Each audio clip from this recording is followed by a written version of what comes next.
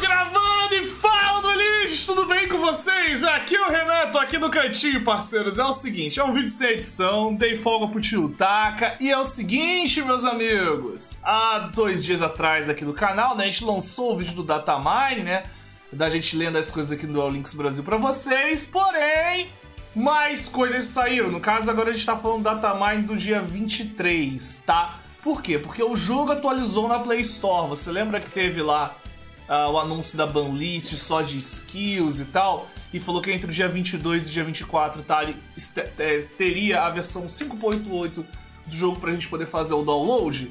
Então, algumas versões já fizeram, os dataminers fizeram é, a extração dos arquivos ali, viu se tinha alguma novidade, e tivemos novidades e é por isso que o datamine do dia 22 foi atualizado. Que na verdade seria o datamine do dia 23, ou. É do dia 23, vai, do dia 23 de junho, na verdade. Mas o Gurugu e o Talisson botaram tudo juntos aqui. Nós temos uma coisas bem legais sobre o mundo novo e sobre ele, o nosso querido Rei Supremo. Rei da Noite. Mas é isso, deixa o like nesse vídeo, se inscreve no canal e compartilha com os amigos. Se não fizer nada disso, você vai perder sua conta. Joguei aí no ar. Se acontecer, já tá sabendo. Mas vamos lá, Renan, quais foram essas atualizações que vieram? Bem, veio mais linhas avulsas sobre pêndulo, tá? Basicamente formas de você classificar, uh, classificar e fazer buscas sobre cartas pêndulos. Isso aqui, mais do que nunca, reforça que nós teremos não mais aquele mundo KCGP.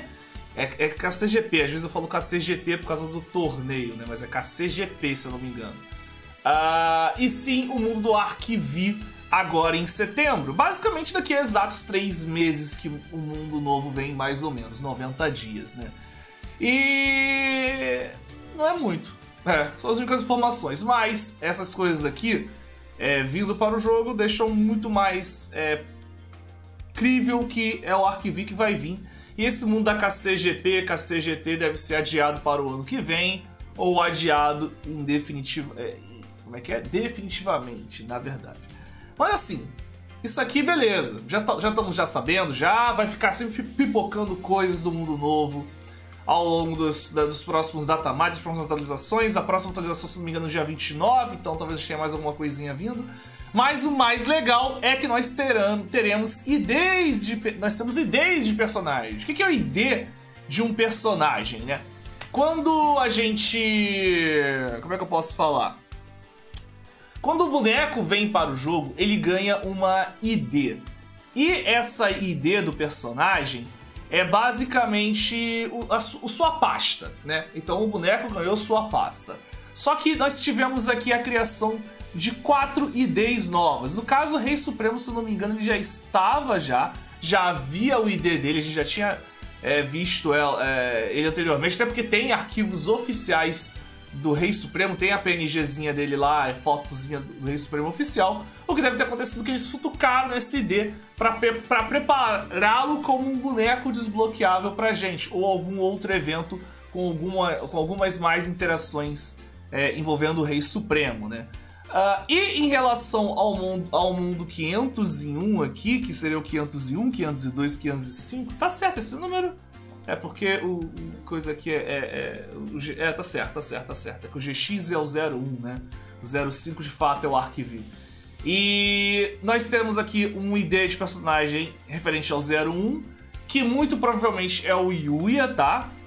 Protagonista, natural, ele ser o primeiro, né? Uh, nós temos o ID 02 e nós pulamos para o ID 05, que é o Declan Acaba, ou o Rage, né?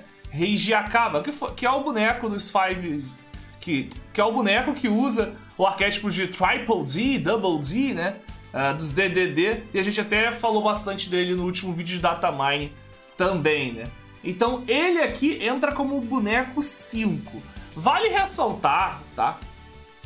Que eu acredito muito mais que ele será um boneco, o primeiro boneco desbloqueável do jogo. Ele é um dos primeiros duelos do anime, se eu não estou enganado, anime do Arquivi, né?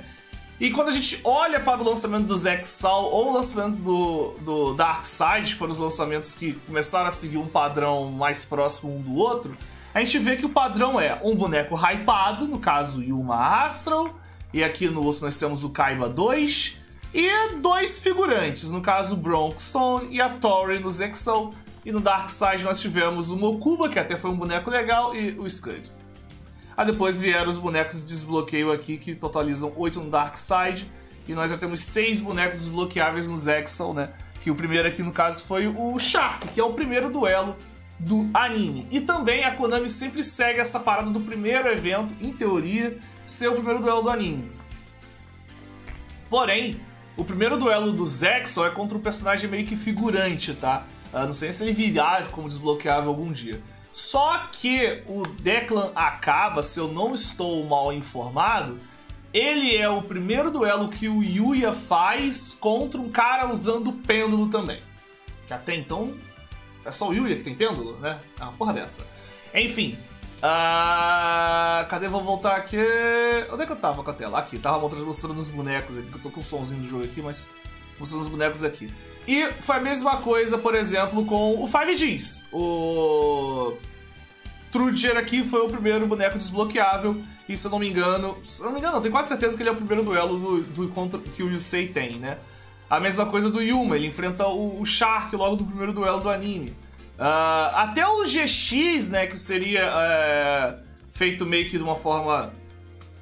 É, como é que eu posso falar? O GX é, é um mundo que, assim como o dele, foi lançado de uma maneira mais caótica, né? a gente precisa lançar, vamos lançar, né? Uh, até o GX, por exemplo, o primeiro personagem desbloqueável que veio foi o Crawler aqui, né? Que acho que se a Konami tivesse planejado o GX, ela não teria colocado o Jaden, o Chaz, a Alex, o Astra e o Bastion logo de começo. Eu acho que ela colocaria, tipo assim, o Jaden, o Cyrus e, sei lá, talvez o Bastion. Os três aqui vindo de primeiro, tá ligado? O, com certeza o Astra, a Alex e quem sabe o Chaz viriam como eventos, né? Mas o primeiro, depois a gente teve evento do Jesse e tudo mais, teve eventos de outros bonecos também, Zen, né? Whatever, né? Então é meio que isso que eu quero falar com vocês aqui, né? Que o Declan acaba. É, tipo assim, vamos hypar o mundo novo, vamos se animar, né? Eu tô animado. O mundo novo é sempre legal, porque a gente vai ter a mecânica nova que é o pêndulo, isso vai reforçar arquétipos que estão é, só esperando o pêndulo chegar, como é o caso dos DDD que a gente falou. Tem Super Heavy Samurai, tem o Yosenju, tem outros também aí. Uh, até Crystal Beast usa monstro pêndulo, né? E mas não se anime em ter o Declan acaba aqui, ou Rage, né? Logo como desbloqueável no começo, tá? Acredito muito que ele será o. Tá até escrito aqui que é o primeiro duelo, né? Com, com a pena do Summon, né? É, que acredito que ele será o primeiro personagem desbloqueável, tá? Meu palpite, tá? Posso estar enganado, né? E, enfim, vale ressaltar também rapidamente aqui que o mundo do Zexal, quando ele foi introduzido, esse personagem Yuma barra Astral, ele é o personagem 3 do mundo, tá?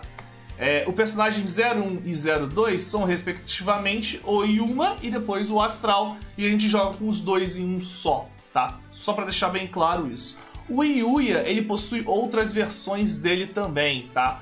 É, e o Gurugu chegou até a falar que uh, esses outros ideias aqui podem ser as outras versões e o Declan acaba viria no começo. Só que acho que o Guru tava um pouco mais é, é, emocionado porque é a saga favorita dele, o Arquivi, né? E eu falei, não, cara, Konami. Konami, você sabe como é que Konami é, cara? Konami vai trazer só o Yuya, uns figurantes ali, amigo dele, e só. Vai ser três bonecos no começo, uma box, um estrutural, gema, bilhete dos sonhos e vai ser esse o mundo novo, assim como foi todos os outros mundo novo, né? O que nos resta esperar é que de repente esses bonecos já podem vir já com mais skill roubada, né? Que é o padrão que a Konami tem feito aí para os últimos bonecos que têm sido desbloqueáveis, a exceção do nosso querido Duke Deb. Falando em skill roubada, nós temos o Rei Supremo, né? Que também é um personagem muito, mas muito aguardado para vir para o Duel Links. O Rei Supremo, ele basicamente é uma versão do Jaden, tá? O Jaden no Duel Links ele tem sua versão 2, né? Que é o Jaden fundido com a Yubel já. E nós temos aqui o Rei Supremo, que seria o Jaden dominado totalmente pelas trevas, né? É, eu vi o anime tem muito tempo, não lembro exatamente. Ele é um cara que, tipo assim, se perdeu completamente nas trevas. Uh, sem a Yubel assim ter interferido, né? Ele só perde o duelo, fica meio confuso, vê os amigos sendo derrotados, entra assim e vira esse, esse capirotão aí. Eu, eu tô meio perdido, tá? Acho que ele foi tomado pelas trevas, né? É a personalidade das trevas do Jaden, né? Possuiu ele uh, diretamente. E o que acontece? O rei, o rei da. O rei da noite não, mano. É rei, rei supremo. O rei supremo ele é conhecido por utilizar os monstros Evil Hero, né? Uh, na verdade, no anime, ah, no anime ele usa aqui uns bichos, né? Tipo o Evil Dark Gaia, o Sniper, Inferno Wing, esses bichos aqui, por exemplo. Tô abrindo eles aqui agora para mostrar para vocês, tá? Que foram monstros que, inclusive, foram lançados não tem muito tempo no card game. Eu até fiz uh, unboxing da coleção que veio os, os, primeiros, pelo menos eu lembro, no canal. Tem aqui no, é, no nosso canal, você pode procurar. A gente tem, tirou alguns Evil Heroes, se não me engano, tinha tirado essa menina. O Dark Gaia não, eu tirei outra aqui. Cadê o que eu tirei? Tirei o. Não, o outro. O outro. Não, cadê? Eu tirei o, Malicious mesmo. Mas enfim. Uh, é, é, é, é, um arquétipo de herói ainda, né? Mas é mais um subtipo. Nós temos os heróis do elemento, o herói destino, nós temos os heróis da visão, nós temos os heróis mascarados e agora nós temos o Evil Hero. E se eu não estiver esquecendo de mais ninguém, nós temos esses cinco tipos eh, de heróis, basicamente e eles são bem poderosos, possuem suas próprias mágicas de fusão, possuem seus próprios bichos de fusões, seus próprios monstros de main deck também para poder combar. Algumas fusões são meio que genéricas, assim, né? Pedem só monstros de trevas. Esse aqui, por exemplo, tem que ser o Evil Hero Malicious Edge mais um demônio de nível 6 ou maior, né? E ele é demônio diferente, né? Ele não é guerreiro, né? Esse também é demônio, né? Demônio, né? Esses bichos começam a ser, a ser de tipo diferente, né? E cara, vale ressaltar também que sempre à véspera de um mundo novo, a Konami gosta de lançar um personagem hypado, né? No ano passado a gente teve o Aigami, se não me engano. Aí anteriormente a gente teve também o Jaden 2 e o Bell. É sempre assim, sempre um vilão, ou meio que um vilão, né? Uh, hypando a galera. E eu acho que o Rei Supremo se encaixa muito bem disso, tá? Eu que sou um cara que acompanha os Datamine muito de perto, né? Posso dizer para vocês que enfim, a gente tem o boneco de junho agora, que é o 4, que a gente vai desbloquear já ele em julho. E boneco desbloqueável para julho e para agosto, né? Uh, a gente meio que não tem um 100% confirmado, né? Ou muito próximo, alguém que veio na rua e tá só esperando, né? Uh, a gente tem alguns palpites, né? O Rei Supremo aqui acabou de ser futucado, se torna um grande palpite. E eu fico muito, muito na expectativa que ele seja desbloqueável mesmo, tá? Pode ser que não seja agora em julho, seja em agosto, então vamos lá, calma. É, tem também dois personagens do, do 5Gs, né? Que são aqueles outros personagens da, da facção Iliaster. Uh, eu lembro também de. Tem o próprio Jaden e o Bell. Jaden e o Bell não. O Jesse e o Bell que entrou nos arquivos do jogo, apareceu ali numa crônica e depois sumiu. No Dark Side of Dimension nós temos o Bakura, nós temos o Tristan também. Uh, no DM nós temos, é claro, né? Precisa sempre ser citado aqui, né? No DM nós temos o Merrick Chita, que é um boneco pronto, que a Konami nunca liberou pra gente. Ela, ela prefere que a gente jogue só com o Yami Merrick. Enfim, tem essas opções, né? Mas acredito, na verdade, que com essa mudança no Rei Supremo aqui, significa que o meu parceiro. Ele tem que vir, cara. Ele tem que vir. No começo do ano, né? Uh, eu já tinha cantado a letra, né? Quando teve o evento de desbloqueio do. Cadê, cadê ele aqui? Agora vou mostrar aqui. Do Axel Bros, né? Que foi o último boneco desbloqueável do GX. Uh, a gente comentou que, cara, o Axel você desbloqueia ele num evento que a temática inteira é o Rei Supremo, né? Aí na segunda vez que o evento veio, no final do evento, quando você concluía o evento, ele falava: Ele não está aqui, estou procurando. Na primeira vez. Aí na segunda vez ele falava a mesma coisa e aparecia a sombra do Rei Supremo, né? Uma imagem do Rei Supremo que tá na thumbnail, aparecia a sombra dele. E agora, talvez a gente tenha aquele mesmo evento de desbloqueio do, do Axel Bros, só que dessa vez a gente vai desbloquear o Rei Supremo. Estou supondo, tá? Não estou afirmando que será desse jeito mas é um bom palpite, né? O evento tá ali pronto, é só trocar o boneco que desbloqueia. É um evento até legal de desbloqueio, não precisa farmar nem nada, só ficar jogando ali, completando as coisas certinho, que pimba, uma hora o Rei Supremo será nosso. E é isso, meus amigos. Queria trazer essas novidades para vocês aí, né? As ideias dos personagens, né? O Acaba é o 5. Coloque aí nos comentários, você que já assistiu o arquivo inteiro, quais seriam esses três primeiros personagens que nós teremos, né? O Yuya é certo, né? E quais serão os outros dois figurantes para acompanhar ele logo nesse começo, né?